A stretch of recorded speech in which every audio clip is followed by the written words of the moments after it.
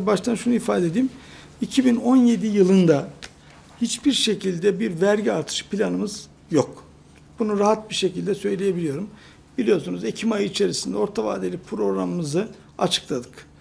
E, bütçenin gelir gider dengesini ortaya koyduk. Ve geçen yıl içerisinde de bir takım vergisel düzenlemeleri yaptık. Dolayısıyla 2017 yılı içerisinde herhangi bir sektörde, herhangi bir üründe bir vergi ayarlaması olmayacak. Bir vergi artışı olmayacak. Bunu rahatlıkla söyleyebilirim.